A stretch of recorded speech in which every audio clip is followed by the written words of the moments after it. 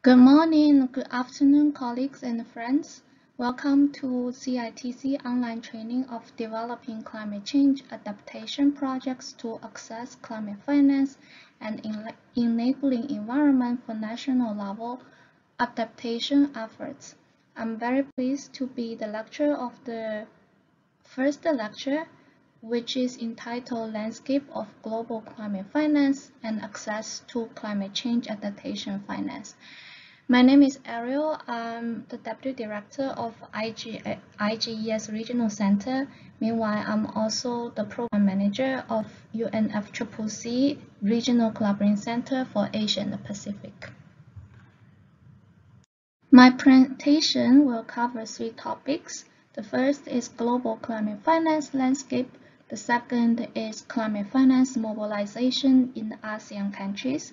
And third is accessing international climate funds. So let's start with the first topic, global climate finance landscape.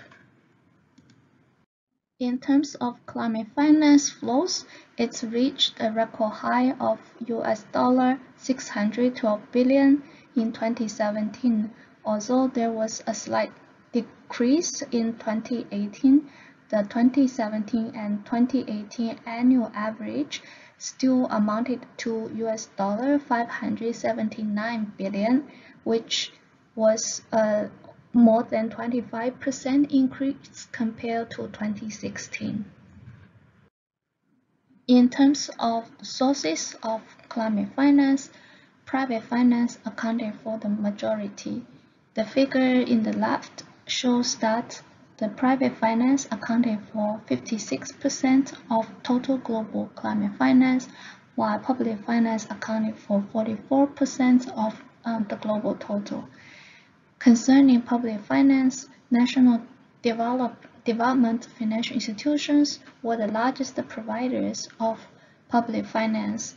Spending on transport outpaced the renewable energy and became the largest beneficiary of public finance, receiving US dollar 94 billion or 37% of the public total. In terms of private finance, corporations continue to account for the majority of private investment, but commercial financial institutions play a more important role than ever out of the quantity, 85% of private finance flowed to renewable energy, 14% of private finance went to low carbon transport, and under 1% to all other sectors, reflecting a preference for more commercially viable sustainable projects and industries among private investors. In terms of financial instruments, that was used the most to channel climate finance, averaging US dollar 380 billion or two-thirds of the global climate finance annually. More specifically, grants amounted to US dollar 29 billion, accounting for 5% of the global total. That, as I mentioned, amounted to 380 billion, accounting for two-thirds of the global total. Specifically, there were three types of debt. For example, project finance amounted to US dollar 223 billion, balance sheet borrowing amounted to US dollar 93 billion, and low-cost project debt amounted to US dollar 64 billion. Equity was another popular instrument which amounted to US dollar 169 billion, accounting for 29% of the global total. In terms of thematic allocation of climate finance, mitigation finance still accounted for the majority of total flows. More specifically, mitigation finance accounted for 93% of total flows in 2017-2018 or US dollar 500 37 billion annually on average. Um, I would like to highlight um, three sectors. The first was the uh, transportation sector. Financing for low carbon transport is increasing very rapidly, rising by 54% from its 2015-26 level to US dollar 141 billion in 2017-2018. This was primarily led by increased investment in rail and transit projects by corporates and public actors, and increased purchase of uh, EVs by householders. EV charging infrastructure also accounted for another additional um, 3, 3 billion US dollar per year in the sector compared to the 2015-2016 level. Um, additionally, renewable energy still remains as uh, the main destination for global climate finance, representing US dollar 337 billion annually or 58% of global finance. Lastly, I would like to highlight adaptation finance, which rose, rose significantly from its previous level in 2015-2016, with an annual adaptation finance reaching US dollar 30 billion on average in 2017-2018. While water projects remain the largest share of adaptation finance, spending on other sectors, including land use and disaster risk reduction also increased. Lastly, in terms of geographic distribution of climate finance, East Asia and the Pacific region remain the largest regional provider of and destination for climate finance. Looking at the sources of climate finance, most climate finance, or 76% of the track total is still invested in the same country in which it is sourced. In terms of destination, finance pro for projects in non-OECD countries reached US dollar 356 billion, accounting for 61% of global climate finance. Next, let's zoom in and have a close look at climate finance mobilization in ASEAN countries. Let's first focus on international climate finance. From OECD DAC database, we can see that development finance projects where climate solutions are the main principal objective average approximately US dollar 3.2 billion annually between 2013 and 2017. In terms of sources of international climate finance, bilateral sources accounted for almost half of the total international finance flow to the ASEAN countries. Additionally, multilateral development banks accounted for 46% of the total and climate funds accounted for 6%. In terms of destination, Vietnam, the Philippines, and Indonesia have received 82% of climate-related development finance in the period of 2013 to 2017.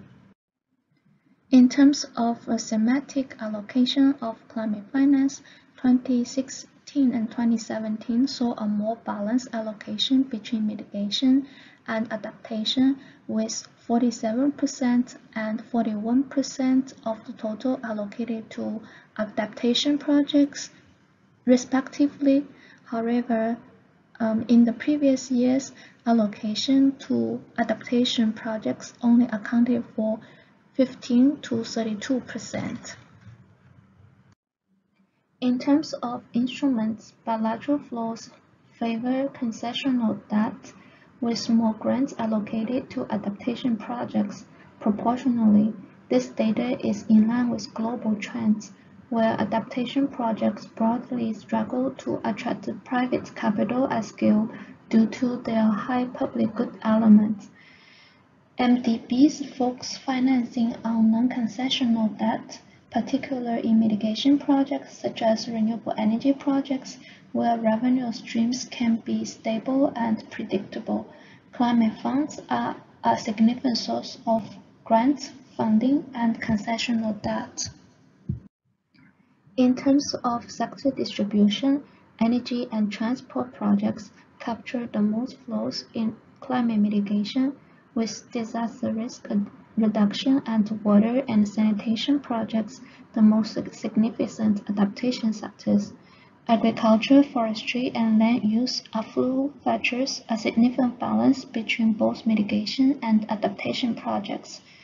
Within energy projects, an equal amount 36% was allocated to expansion of electricity grids and energy networks and to renewable energy projects with geothermal featuring significantly.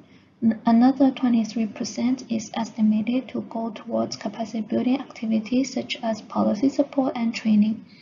In transport, rail infrastructure and transit systems receive 68% of flows and the roads 17%, particular for adaptation purposes. A further 13% of flows was directed to capacity building activities. Flood prevention infrastructure accounted for 52% of disaster risk reduction flows, with the remaining 48% targeting capacity building. Similarly, 46% of finance in water and sanitation sector was for infrastructure projects, 22% for water conservation, 12% for capacity building, and the remainder for river basins development and waste management. These observations are well aligned with climate finance needs, where priority sectors for mitigation are energy, transport, forestry, and land use, while for adaptation, they are water supply and sanitation, public health, biodiversity, forestry, and watershed management. Domestic public finance can be a major source of finance to support climate actions. Such expenditure may occur at the national or subnational level or through national climate funds and public-private partnerships. Although climate finance tracking of government expenditures at the domestic level is not widespread, three ASEAN member states, Indonesia, the Philippines, and Cambodia, have implemented the UNDP methodology for climate public expenditure and institutional review (CPEIR). Given significant differences in government budgets within the three countries, flows range from $180 million in Cambodia to $6 billion in Indonesia, but in terms of percentage of GDP, the range is from 3% to 6%. Furthermore, how adaptation and mitigation actions are defined vary from country to country based on local circumstances and priorities. Both Indonesia and the Philippines implement automated budget tagging methodologies to regularly update and track their climate expenditure. Indonesia solely tracks mitigation finance, while the Philippines expenditure is predominantly on adaptation finance. Cambodia does not differentiate between the themes. Climate finance flows from international public sources are often side by side with private finance flows, either cross-border flows or domestically originated. Project developers and corporations, commercial banks, and institutional investors provide debt or equity finance to climate projects or companies. Domestically, household investors and consumers also contribute finance flows through their retail purchases or saving investments. With the exception of a few countries, market capitalization is relatively limited in the region. The liquidity in the ASEAN equity markets also tends to be low. Equity markets in ASEAN tend to be highly volatile. Data related to private finance flows to climate action is limited both globally and in the region to specific sectors and instruments. Renewable energy project finance from both public and private sources averages $5 billion in a year in ASEAN. While precise disclosed data on lending and equity flows to renewable energy projects is unavailable, the most prominent lenders participating in project finance deals are banks in the region along with ADB. These include four Thai banks, Kasikornbank, Bangkok Bank, Krungthai Bank, and Siam Commercial Bank. Lastly, let's have a look at how ASEAN member countries access international climate funds. Overall, the operational entities and the UNFCCC have approved $222 million in commitments to projects in ASEAN since 2010. I will explain individually these climate funds in the next slides. Let's start with the Green Climate Fund, GCF.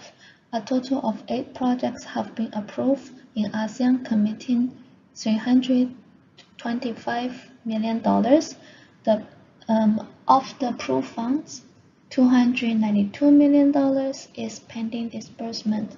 A further eight projects have been submitted to the GCF Secretariat. Brunei, Malaysia, and Singapore have not yet submitted funding proposals. The GCF Readiness Program was created to enhance country ownership and help countries access GCF resources. The program therefore provides resources for strengthening the institutional capacities of NDAs or focal points and DAEs to effectively engage with GCF. It also assists countries in undertaking adaptation planning and the development of strategic frameworks to build their programming with GCF. As of January 2020, a total of 31 readiness proposals were approved in ASEAN, mostly via international partners and only three via country um, governments directly, which are Cambodia, Indonesia, and Malaysia. Brunei and Singapore have not yet made use of GCF Readiness Program. 26 of the 31 um, proposals are for DNA strengthening, including country programming and strategy framework activities. Countries in the region have requested a total of $25.56 million in readiness funding, with Myanmar, Indonesia, and Thailand requesting the highest total amount, a total of $14.78 million has been approved, of which 3. $9 million has been disbursed to date. Next, let's move on to Adaptation Fund. Four projects have been approved in the region with the total amount of funding approved close to $24 million. Projects have been implemented mainly by UN agencies in Cambodia, Indonesia, Laos, and Myanmar. In terms of the project pipeline of the Adaptation Fund, Indonesia is most active in submitting concepts and proposals to the Adaptation Fund, with nine sub submissions within the period of one year, last year 2019 to 2020, via the Partnership for Governance Reform. Cambodia, Laos, and Vietnam have also submitted concepts and proposals via UN agencies. In total, 14 projects for the region are currently in the Adaptation Fund's pipeline, requesting a total of $45 million. The sectors of focus are urban development, water management, coastal management, eco-based adaptation, disaster risk reduction, agriculture, and multi-sector. The Adaptation Fund Board has made available several small grants under the Readiness Program to help national implementing entities provide peer support to countries seeking accreditation with the fund and to build capacity for undertaking various climate finance readiness activities. This includes South-South cooperation grants, project formulation assistance grants, technical assistance grants, project scale-up grants. To date, no readiness grants have been approved for the ASEAN region, the only accredited national implementing agency in the ASEAN region is the Partnership for Governance Reform in Indonesia. Next, let's look at Global Environment Fund, GEF. GEF funds are allocated to projects addressing biodiversity, climate change, land degradation, international waters, chemicals, and waste. In total, the ASEAN region has received $611 million in GEF grants and $6 um, in co-financing for climate change projects. In addition, the ASEAN countries were co-beneficiaries in projects that went beyond the ASEAN region amounting to $958 million in GEF grants and 8 billion in co-financing. Um, the left side table shows the total financing approved for individual ASEAN countries. The Philippines have received the most total funding via GEF co-financed projects, followed by Vietnam and Indonesia. Additionally, four regional projects limited to the ASEAN region have been approved. Next, let's have a look at the Least Developed Country Fund, LDCF. The Least Developed Country Fund established under UNFCCC addresses the special needs of the least developed countries that are especially vulnerable to the adverse impacts of climate change. The LDCF reduces the vulnerability of sectors and resources that are central to development and livelihoods, such as water, agriculture, and food security, health, disaster risk management and prevention, infrastructure, and fragile ecosystems. All LDCs are defined by uh, United Nations that are also party to the UN Climate Change Convention are eligible to access the LDCF. The list of LDC is reviewed every three years by the UN Economic and Social Council. The fund is tasked with financing the preparation and implementation of National Adaptation Programs of Action, NAPAs. NAPAs use existing information to identify a country's priorities for adaptation actions. The LDCF is the only existing fund whose mandate is to finance the preparation and implementation of NAPAs. Cambodia, Laos, and Myanmar have received funding via LDCF. Next, let's have a look at Special Climate Change Fund, SCCF. The Special Climate Change Fund, SCCF, was established in response to guidance from COP7 in Marrakesh in 2001 any non-Annex 1 country who is party to UNFCCC is eligible for project funding under SCCF. SCCF was established with four different uh, funding windows. Uh, window A is adaptation, window B is um, transfer of technologies, window C is mitigation, which include energy, transport, industry, agriculture, forestry, and waste management. Window D is economic diversification of for fossil fuel dependent countries. Currently, only Window A adaptation and Window B um, transfer of technology are active. Lastly, let me introduce a new initiative um, created for the Paris Agreement, which is called Capacity Building Initiative for Transparency or CBIT in short. The CBIT was created at the request of parties to help strengthen the institutional and technical capacities of non-Annex 1 countries to meet the enhanced transparency requirements defined in Article 13 of the Paris Agreement.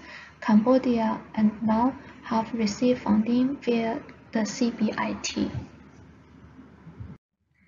My lecture ends here. I hope it is helpful and help set the scene for the other upcoming lectures.